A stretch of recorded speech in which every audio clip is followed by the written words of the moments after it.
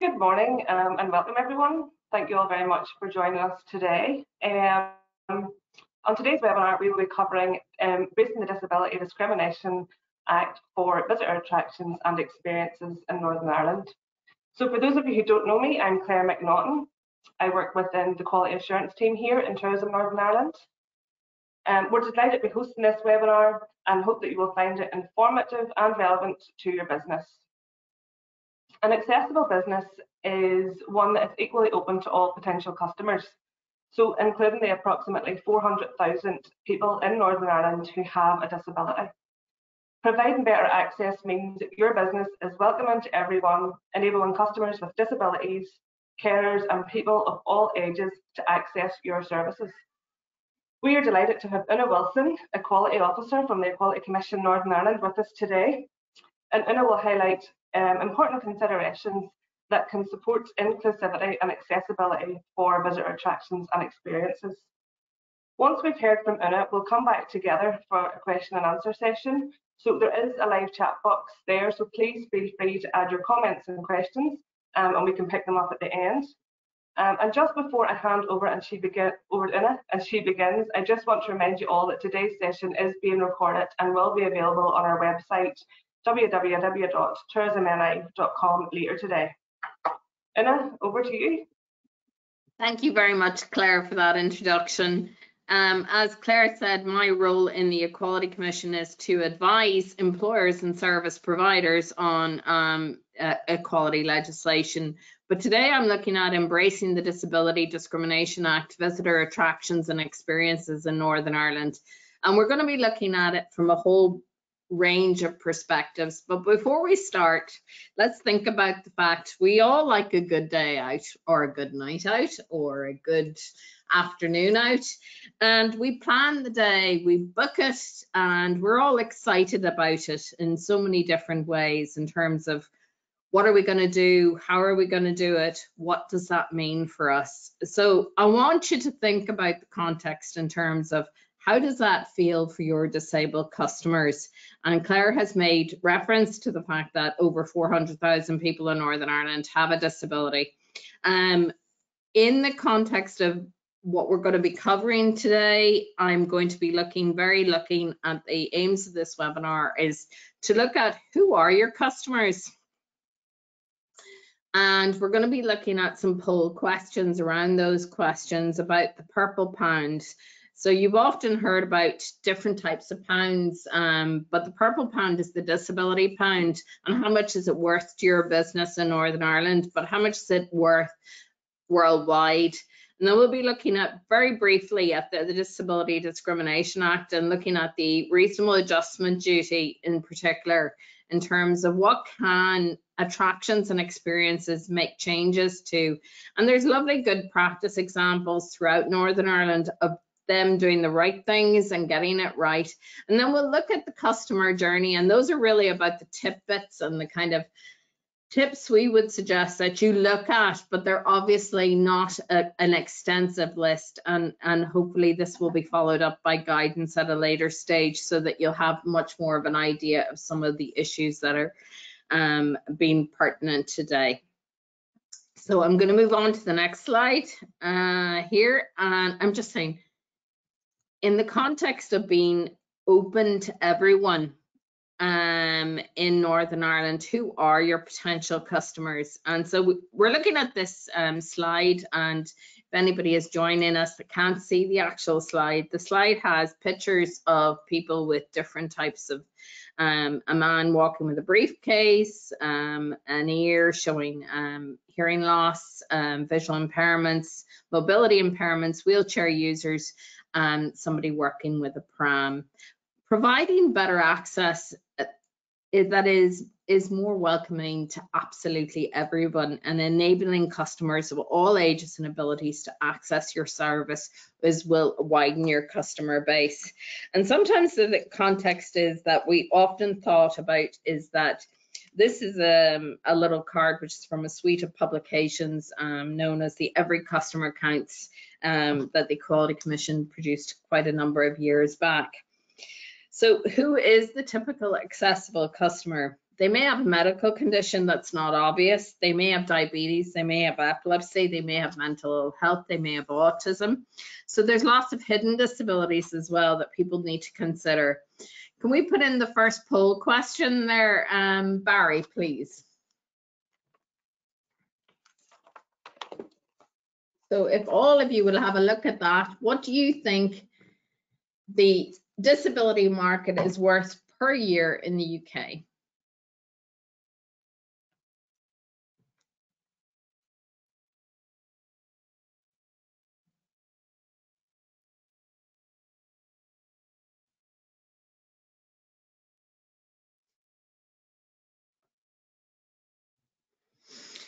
Okay, you can see the poll now, the results. So um, only 6%. That's interesting. So you all went for the middle one.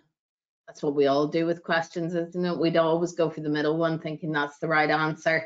The right answer is 249 billion um, in the UK. So that is a considerable amount of money to be thinking about in terms of what is that market actually worth in terms of, and this is a further breakdown of this in terms of the business case for accessible tourism.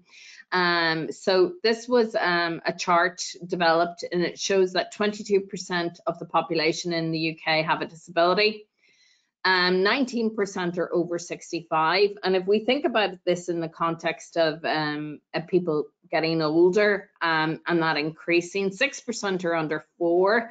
Northern Ireland, um, in actual fact, the most latest uh, uh, statistics, because I was double checking, I should have changed the slide actually, is 32.8% and it's broken down in the census by council area. So you might want to have a look at that if you're looking at it from a perspective of a council area.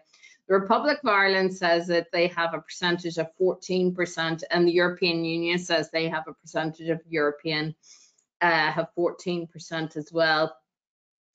So often um, they disabled people face limited choices and increased costs. Um, so let's take the stress out of booking an attraction or an experience for people who are visiting Northern Ireland or own internal customers um, in terms of um, and potential visitors have revealed to um, that that that disabled people are not confident that they can easily ask range, uh, access the range of experiences throughout.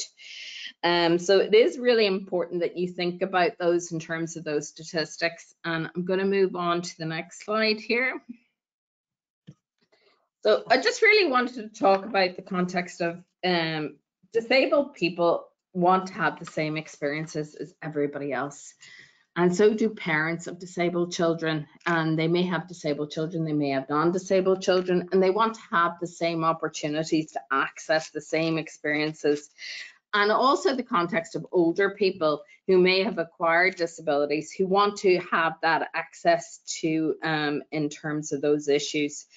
So that um, in terms of those issues, the tourism related spending, we really want to look at the fact that access means business that 40% of all households in Northern Ireland include a disabled resident.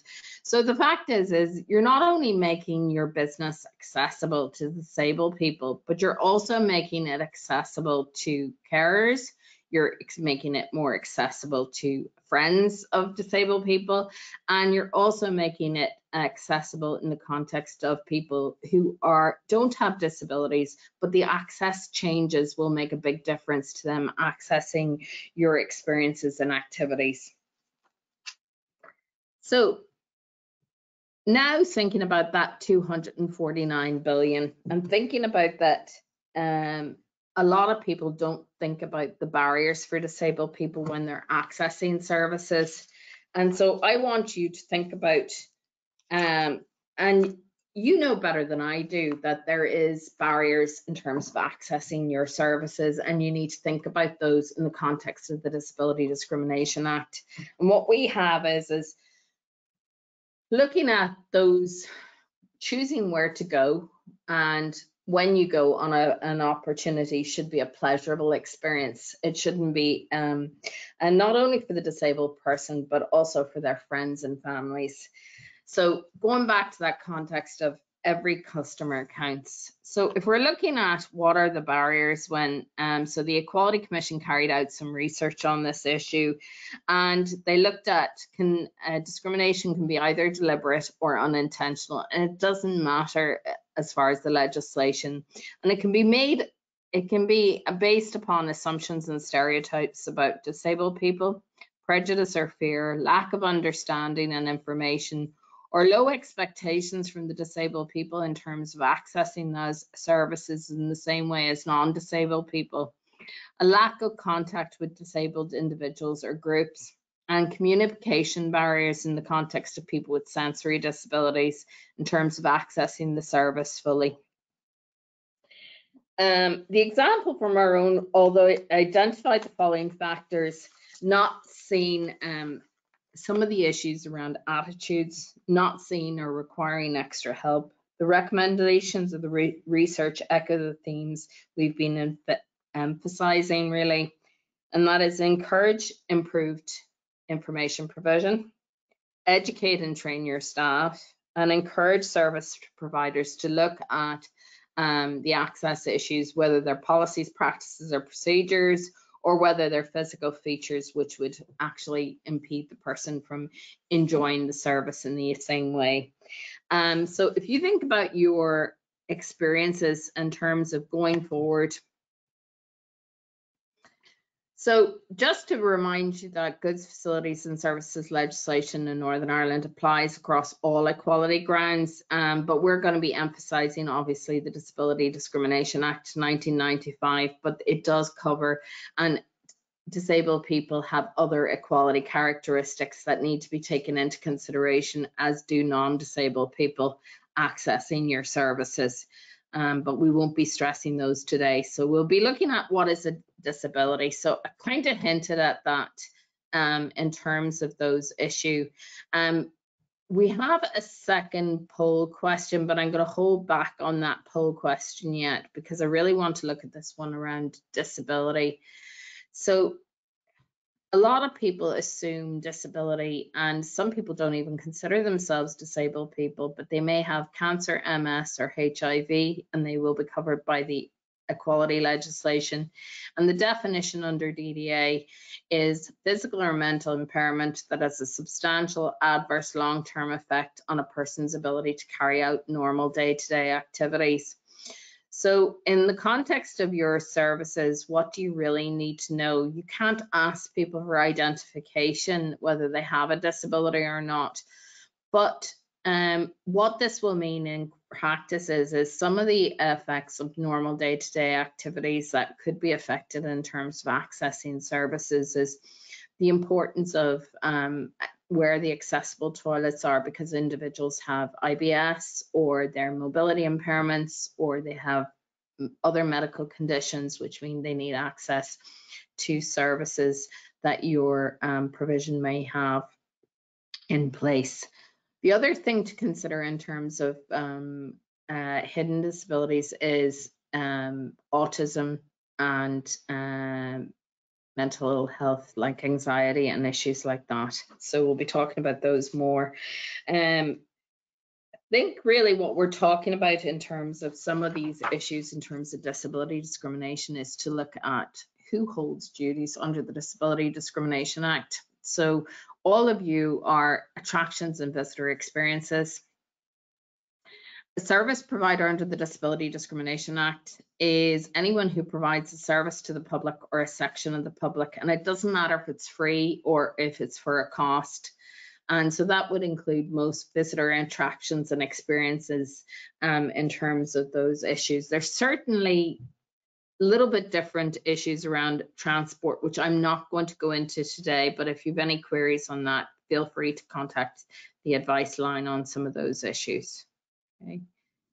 So what is unlawful discrimination? Uh, refusing to provide a service.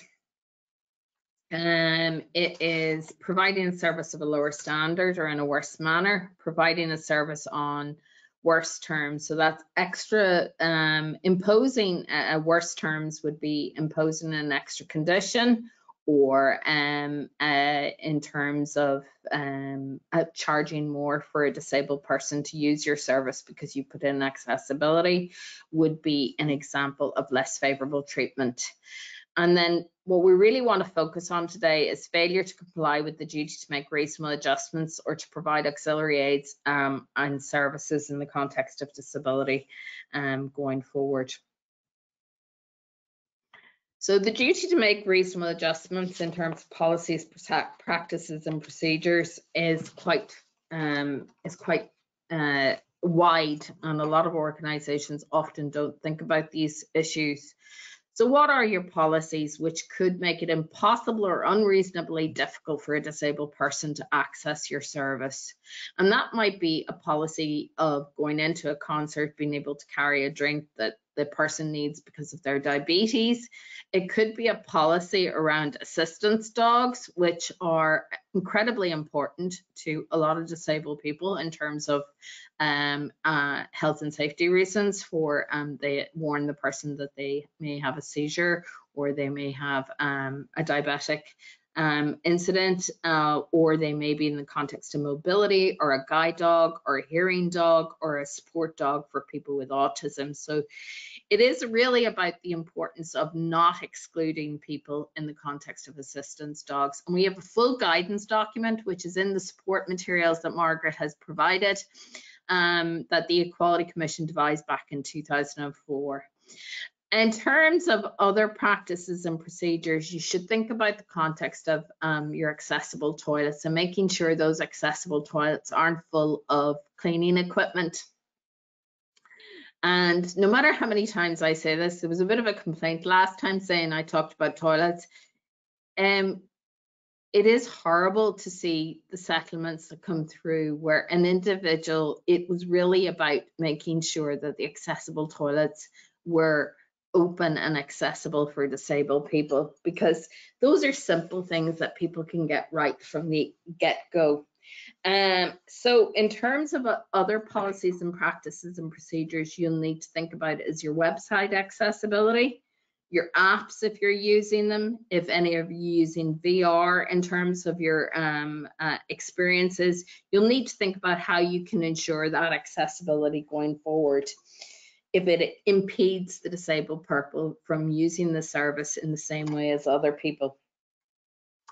Think um, provision of sign language um, at um, events is also another issue that comes up quite regularly um, in terms of um, an issue for deaf people in Northern Ireland accessing services fully. And so that could be using British Sign Language or Irish Sign Language, and that is incredibly important that you have procedures in place to ask that for information in advance and um, book them early. Um, so in terms of those issues, and there's a number of um, sign language settlements have, have been settled in the past against organizations for failure to provide sign language interpreters in various shapes and forms across the whole um, both the public sector and the private sector. So it is something that needs to be addressed in terms of those issues. And on a positive note, um, I don't know if I've grown up children, um, but they were all talking about Justina that was um, signing um, for Rihanna recently. So you begin to get a sense that it is becoming part of part and parcel of the whole experience for disabled people and non-disabled people alike in terms of those and truly lifting every voice um, in that context um, uh, was the example given in the um, publicity around that, a positive publicity. So I have a very short list of um, signs just to give you an indication. So one indicates British Sign Language, one indicates Irish Sign Language, there is the logo for accessibility of websites, the provision of large print. And if you don't provide large print, I'll talk about the alternatives in that context. So maybe you can't do large print and your menus on a board, having a member of staff reading it out and doing so in a positive manner, having loop systems that actually work. If I had a penny for every time I have seen a loop system not working, um, not being effective, um, not being in place, um, and if you think about that, that is a huge proportion of disabled people who would be using those and they wouldn't necessarily see themselves as um, disabled that have hearing loss um, as a result of aging um, and can just turn the T switch to amplify um, in terms of those activities. Um, so I just wanted to go very briefly thing what is considered reasonable uh, no definitive answer. It varies according to the circumstances of the service provider. And the factors can include cost, convenience, and the practicality of making the adjustment, the total resources of the service provider. The effectiveness of the change in making the service accessible is more accessible is probably the key one there. Um, financial assistance can be taken into account, but it would rarely be because in terms of service provision, there isn't a lot of funding out there in the context of that. This is not an exhaustive list and the factors will depend on all the circumstances of the case. So it will turn on so many different issues, but there is a merit of flexibility and the responsibility in terms of circumstances, um, and turning on the circumstances on the actual day in terms of those issues. Adjusting physical features, can you remove the physical feature which makes it impossible or unreasonably difficult for a disabled person to use the service? Can you alter the physical feature in any way? Can you avoid the physical feature or can you provide the service by an alternative method?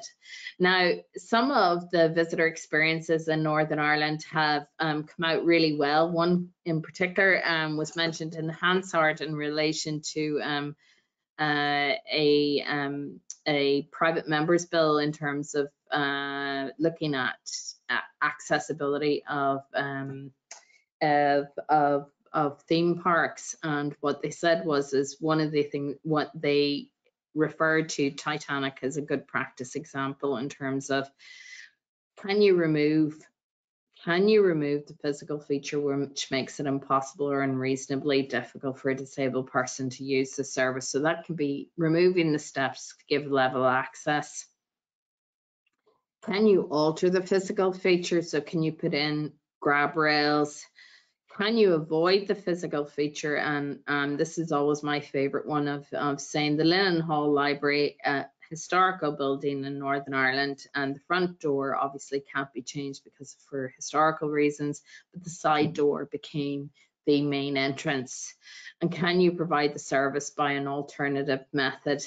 And that's in very rare circumstances. Although all four of them have equal status under the law, the code of practice suggests that you go um, you go through them in a step-by-step -step measure. Can you remove? Can you alter? Can you avoid in terms of those activities and experiences. So if there's physical features oh, going into your booking, um, into your main main features, main where the experiences starts, is there physical features that you can look at? Can you alter any of those and can you avoid any of those in terms of going forward? Okay. Some of the physical features that are listed in the legislation are steps, stairways, curbs, exterior surfaces, paving, parking areas, entrances, exits, gates, toilets, washing facilities, light and ventilation, floor coverings and displays. And looking at the range of experiences that are available in Northern Ireland, that might be looking at, you know, if you provide a cooking course, could you have a have you uh, have you got lowered um, kitchen counters that would be accessible for disabled people? And that depends on the size, size and nature of your business and what you can do and what you can feasibly do. Um, in the context of any exterior um, like walks and things like that, that you provide detailed information on which part of the walks are accessible and which ones aren't. Um, and I was looking up the Giant's Causeway one, and it's a great example of showing you where you can go and where you can't go um, was reviewed by um, disability organizations in terms of those issues. So, and that's not to say that mightn't be the same for everybody, but gives you examples of some of those issues. Can a service provider justify less favorable treatment or failure to make a reasonable adjustment? Um, and this probably only pertains to organizations that provide rides and things like that in limited circumstances which are listed, but some which may be relevant to some of the visitor experiences, maybe the health and safety factors, the impact capacity to contract or the service provider could not provide the service to the public. The question really will be in the code of practice is, was the belief reasonably held or was it based on some stereotypical views of disabled people? And I'm going to refer to a case that was referred to um, in Hansard, um, which is the Houses of Parliament. And it was um, the case of Sebi versus a theme park and he was going for his birthday um, and he's disabled with gross motor delay. Um, it's um, similar to cerebral palsy. He had a spinal injury. He had a double hip replacement. He was six years old, by the way. He, he gets intensive therapy to improve his mobility. And obviously, part of his physical and mental well-being is that he gets to go on rides. And so his parents booked a ride months before, um, trying to ensure the correct pass and let the park know about his disability. Um, but on the actual day, um, he um, when he went for some of the um, parks, um, and this is an example of using that justification on health and safety inappropriately. The staff intervened to say he needed to show he could take three steps holding on to one parent. But it all took place in front of a very busy queue. He managed, but he was asked to repeat it by a manager. Um, and when he was um, when he was asked how did it make him feel, feel he said it was so hard and it upset me. Um, so this um, was a private members bill in the Houses of Parliament and gained 26,000 um, signatures um, because around theme parks, ensuring the accessibility of theme parks for disabled people. So it is something to look at in terms of planning your um, developments within your um, within your um, within your various experiences to ensure the accessibility. And if you want to look at one of the ones that's been most successful in the world, and of course you're going to say they have a lot of money to do that, but they did it from the outset. And some of the costs are really around customer service, um, which are not expensive in that context. Um, do look at the Disney um, example. What is considered reasonable? So I think we've covered it in terms of the policy of the let It's not simply ensuring that some access is available to disabled people. It is so far as reasonably practical to approximate the access enjoyed by disabled people to that enjoyed by the rest of the public. So I really want to focus on the positive stuff, folks, because I think we can all do better.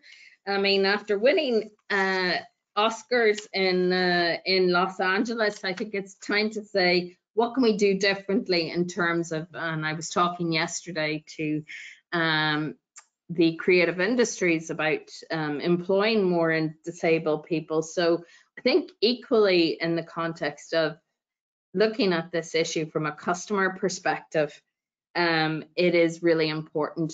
The other thing to bear in mind is there's a European Accessibility Act, which um, will be coming into force not in Northern Ireland, but in other parts of Europe and that will be harmonizing um, uh, legislation for both producers and service providers and it will become law on the 28th of June 2022 but the requirements must be implemented by the 28th of June 2025 and that will mean websites mobile services um, ticketing information provision payment terminals will all have to be accessible. And we all know when customers come from other countries where there is greater accessibility because um, disability discrimination has been in place for a lot longer, their expectations are heightened. Um, so if you're thinking about your American, your Canadian, your New Zealand, your Australian tourists, they're all going to be expecting, and your European tourists are going to be expecting levels of access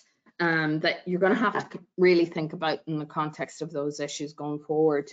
Just want to look at the customer journey. So looking at your attractions and your experiences, um, um, I went to the museum at the weekend and I looked and I saw an access guide for the exhibition. I looked at all the signage and it was all so positive and it was so brilliant. And I think we're really bad at telling people how good we are at these things. But what factors influence a person's decision to visit somewhere? Knowing you can get around and into the venue, 90%. So this is Euan's Guide. Knowing there is an accessible toilet. 80%, knowing the staff are friendly and helpful. 70%, knowing you can park nearby or you have a drop off point, knowing that you can get there on public or community transport, knowing that information is available in an accessible format that you can use. And, and that's really crucially important because um, in terms of you know, if you do develop apps, that you make sure the apps are accessible as well as the website um, information that you're going forward with in terms of those issues. So we want to look at the three pillars, I suppose, of accessible tourism, which are information, facilities, and customer service.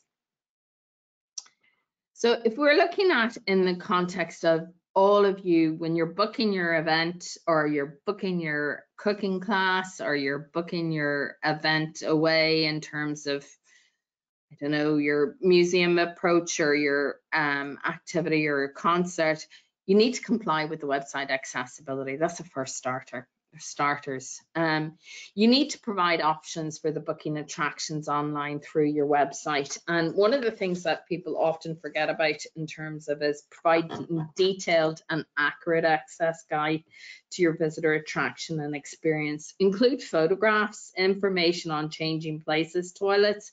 If you don't have a changing changing places toilet, find out where your nearest one is and put that information in access uh, accessible places to visit and eat which are close by provide any prefer um, any free information about uh, personal assistance policies and concessions um, provide information about queuing processes. So there was um, a, a, case in GB um, around um, child with autism queuing and how that um, had an adverse effect on his ability to enjoy the attraction.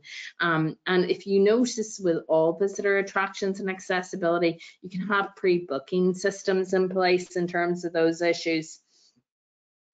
Um, one of my favorites is the Tate Gallery in London because they look at some of those issues from a provide details about the actual experience and the exhibit. So where can people go if they need a bit of quiet time, if they have a child with autism or they have um, anxiety themselves and they just need a wee bit of quiet time? Where to collect the tickets, um, where the drop-off points are, as I've already said, provide information about um, uh, asking for reasonable adjustments in the context of if you're organizing an event, um, where they can get British or um, they can um, contact you about Britisher sign British Sign Language or Irish Sign Language, whether the events are captioned. Have a look at the Grand Opera House. There's loads of information about different things that they're doing. Um, the MAC is doing all sorts of things. And by the way, I'm not being paid by any of these organizations to do any of this. Um, I look at these things all the time and look out for them do be transparent about costs and charges for carers. If you're going to allow for carers, be clear about what that process is going to look like in practice um, in terms of those issues. Um, so a lot of people need that information before they actually make the decision. And I was talking to a woman who has um, a child with very severe mobility um, impairments and she was saying that more often than not, even just booking Santa Claus is a is an event in itself in terms of trying to think, is there an accessible toilet? And she follows the change the um, mobile changing places toilet to see where it's at because that's where they pick where to go. So it makes you think about how those things impact on individuals in practice in terms of those issues.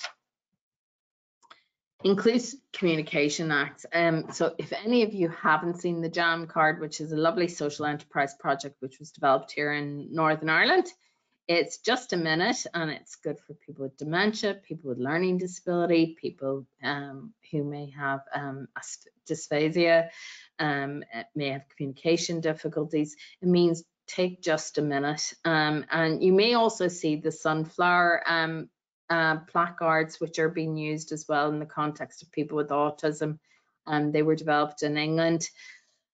Ensure that you make sure that there's captioning and there's audio guides and that you um, have hearing loop systems and you look at the possibility of portable hearing loop systems. If you do have wheelchairs and buggies, make sure you know you let people know where they can get them. Um, if you have information in accessible formats, make sure you have um, information, but also put up information to say that if people would like the information read out, that your staff would be very happy to assist in terms of those issues. I'm actually flying through this. I think I think I'm going on holidays myself next week. I don't know about all of you. Um, but I do want to talk about inclusive communication. Um, it's so important. I mean, we see autism friendly towns, we see dementia friendly towns. What does that mean for attractions and experiences that are in those towns and villages in Northern Ireland? How can they be all of those things? And a lot of people are very good at doing this in terms of those issues. Going back to those access guides, we've already talked about those, but they can't be emphasized enough in terms of both facilities, about highlight the good practice examples. So let people know the distances between the um, the spaces within your guides. Make sure people know assistance dogs are welcome. Um, have clear descriptions of your attraction um, and information about the attraction if external, the surface, the gradients, the resting places, the lighting and the signage. Um, and I was talking to somebody recently where they asked them to take a mobile phone and do the distances between things and where could somebody go if they wanted quiet time, where could they um, uh, take time out in terms of where were the, how far away were the toilets, how far away was the car parking, all those things are really important to people in terms of making decisions, the drop off points things that people don't often think about but are really important to, to um, people with disabilities and um, their families and friends and carers. Highlight what facilities your attractions experience has and what it has not to enable visitors to make informed decisions.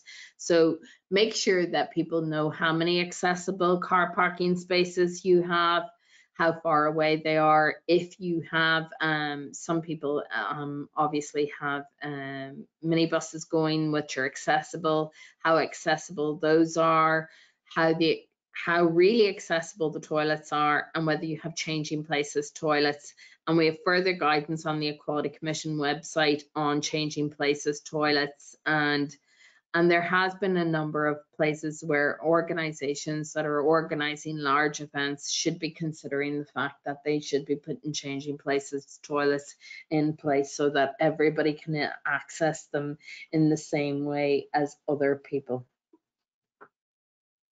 So I'm just, I'm flying through this this morning. And normally I take a lot longer um, uh, in terms of those issues. Um, I'm just thinking, was there any cases that I should have referred to? And I'll come back to them just in terms of, um, I didn't talk about the platform lift one, which I might come back to in terms of accessibility. So in terms of those facilities, we've covered those and we'll look at customer service. Most issues can be alleviated by good customer service. You're the experts on this. You provide experiences and attractions which make people live in awe or chat. And as I watched my son's girlfriend cry at the one in the museum um, because she thought it was so powerful, was you know, those are the opportunities to look at the context of how can I ensure? And one of the things that really, really stood out for me on that day was the staff were there and they were available to help. And it didn't matter whether you had a disability or you didn't have a disability. It was about them being clearly identifiable to help and can enhance the quality of that experience in so many different ways. Improve staff understanding of disabled customers' needs. You know, it's more than individuals often think about wheelchair users, and they're only 7% of the population in the UK. What you really need to be thinking about is the fact that there's a lot of disabled people who need access requirements and there's small and simple changes you could make to your service which would make a big difference to disabled people. Equip you and your staff with the knowledge to better inform your customers, offer assistance and enhance your customer experience. I think we're kind of over egging it, but bit, it can't be underestimated how much that um, is important. So when people are booking, and um, one of the things you could actually do is, is that you actually inform people that, you know, if they're using chat boxes or that you have an email address. And one of the things we have put in the resource document, which will be going up, is, is how to have an accessible email, how to have, um, you know, in terms of ensuring that you give a named person who will be able to help the person if they want to have a conversation. A bit like that example from the um, from the GB case there that I was talking about but some of the cases really are about how do you ensure that disabled people access the service fully um, in terms of those issues and a lot of people talk about some of the access issues in terms of facilities and they talk about the expense of them. And that depends on the size and nature of the of the business. But if you're looking at it in the context of customer service, it's really important that we get this right in terms of, and also look at accessible feedback and complaints process. You have disabled people in lots of different organizations throughout Northern Ireland. There's autism guides, there's dementia guides, there's all sorts of guides about how you can enhance the service for them when they're accessing your service. So, um, and the other thing is, is you have members of staff who have experience of some of these issues who would be more than likely well able to tell you about how they, you could enhance your service in terms of making it better but also ensure that you have disabled people giving you feedback about that process um, and asking you what can you do to improve it um, because it is always about that whole sense. And I suppose one of the issues that I didn't really stress when I was doing the law is, is there's an anticipatory duty to make reasonable adjustments under the Disability Discrimination Act. And that means that it's continuous and it's evolving and it's changing over time. As we all know, when the DDA was passed in 1995, I don't think we were even talking about apps um, and websites in quite the same way as we are now. But all of those are part of the accessible experience, and it's about everybody being aware of how they can deliver that accessible experience. So we have a number of questions, so I don't want to take too much time here um, in terms of really what I want to say to you is inclusive and accessible communication is essential for customers with disabilities. And that can be print, that can be screen readers. Um, you don't want to be Domino's Pizza where they couldn't um, they couldn't read the website. Um, and other customers, making sure your apps are accessible, um, access information about your action, attraction and experience that helps them decide if they will book the experience and whether it's accessible for them. So one of the queries that you often get is, is that, you know, if you're organizing some sort of a jewelry making workshop or you're making a, um, your pottery thing, is to say to people, you know, please tell us if you have any access needs and we will try to accommodate you. Make sure you get an access done. It audit done, it helps you to identify the barriers for disabled people accessing your service, including auxiliary aids and services. And I suppose the difference between an aid and a service is a service is a sign language interpreter, an aid is a loop system. Um, an aid can be a mobility scooter, um, a service can be somebody who can guide a blind person. And one of the examples that I came across when the causeway um, was that, you know, sometimes they have a sign language interpreter, a voluntary sign language interpreter available um, um, in terms of those issues. That policy, accessible communication, but is it inclusive? So the crucial part is it's not just about the accessibility of the service, it's about that disabled person feeling as included and as valued as a customer as any other person that accesses your services. And I have no doubt that uh, attractions and experiences in Northern Ireland can look at the opportunities that the Purple Pound presents to them in terms of opportunities to develop and continuously develop um, services and meet the needs of our population as we go forward from across the world. Thank you. Over to you, Claire.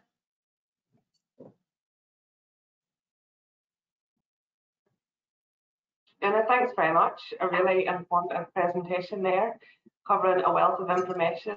Um, you make wonderful points um, particularly about a lot of this, this information, you know, service users are wanting before they arrive on site. So look at your websites, look at any pre-arrival information you have out there and make sure that you're shouting about all the things that you do. Um, and some very practical advice in a right down to menu presentations, to the font size, um, to the countertop levels, to um, detailing if you have pathways and walkways, what is accessible and what is not. It's just about having that information and planning your trip accordingly. Um, really useful and really informative. Thanks again. Um, we have quite a few questions coming in here, um, but before we move to the questions, I have a little poll that I would like you all to complete. Um, just two questions. So the first one is, do you plan to take any action within your business as a result of what you've heard today? And that's just a yes or no, please.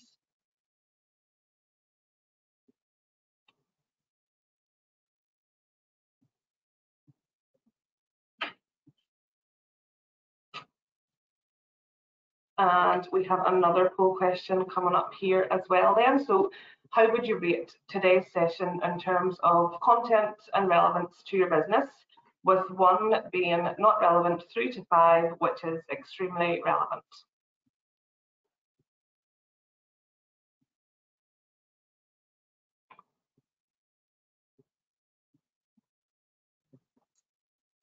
Great. Thank you very much. Okay, we're going to move on to some questions here. Um, so Anna, the first one um, is for yourself. So um, the question is, how do we work with the increasing number of requests to bring support or emotional animals into organisations?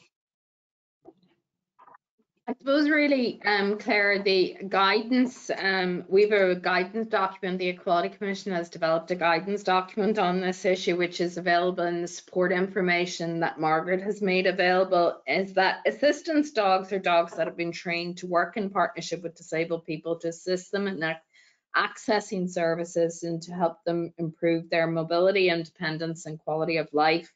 Assistance dogs support people with a wide range of disabilities, include visual impairments, deafness, physical disabilities, and hidden disabilities. Assistance dogs are highly trained working dogs. They are not pets, and the assistance dogs can be recognized by the harnesses and the colored jackets that they wear. A jacket will usually display the name of the organization that trained the dog in question. Um, there may be, um, and I suppose this is where the confusion arises. So there is um, there's a difference between criminal law duties and civil law duties. So this is the civil law duty, but there is a criminal law duty in the context of taxis carrying prescribed assistance dogs, and they actually prescribe them in detail. They've been trained to guide a, a blind person, have been trained to assist a deaf person, um, have been just trained by a prescribed charity to assist a disabled person who has a disability which consists of epilepsy or otherwise affects his mobility, manual dexterity, physical coordination or ability to lift, carry or, or otherwise move everyday objects. And when I was developing this guidance at the time, um, they had a picture of a dog, um, a mobility dog doing the um, uh, the ATM, and I was going, oh my gosh! Um, but the best one they had was the dog that put the, the laundry in and out. Um, I was like, oh, could I have that one? Um, but in the context of this, I suppose really what I want to say is um, assistance animals um, on the civil law side, complaints to a county court in terms of the breach of the reasonable adjustment duty and the time frame on a, a, a reasonable adjustment duty case is six months. There's nothing in the text of the DDA that would exclude the possibility of a reasonable adjustment duty applying to other kinds of assistance animals. Um, um, there is a case um, going through. Um, I haven't seen an outcome on it yet um, about a cat accessing um, a support cat for a person with autism who has anxiety um, accessing a um, Sainsbury's. But the other aspect that you have to bear in mind is, is that you have to balance disability needs on this issue, Claire. So it's not as simple as that. You know, people may have Mhm. respiratory complaints, which would be covered under DDA. They may have asthma.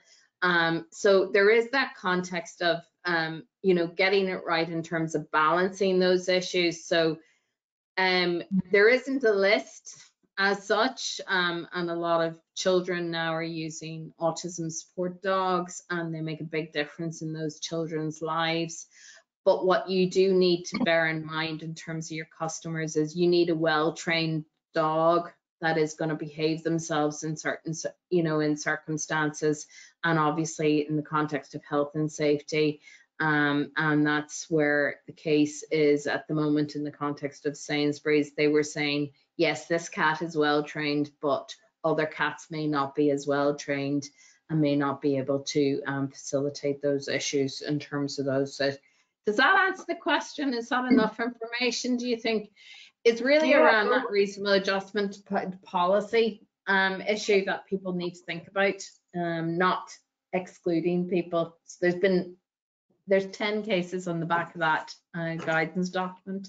Yeah, no, absolutely. I continue. think um, you answer it well, and it, it's it's not a broad brush approach to this. It would be case by case, find out um, as much information and take from there, really.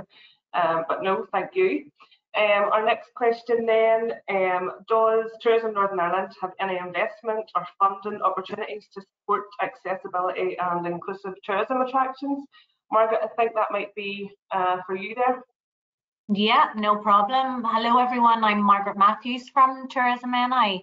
So in terms of funding, so compliance with um, disability legislation already forms part of the funding criteria um, in a number of Tourism NI grant schemes, for example, the Experience Development um, Programme.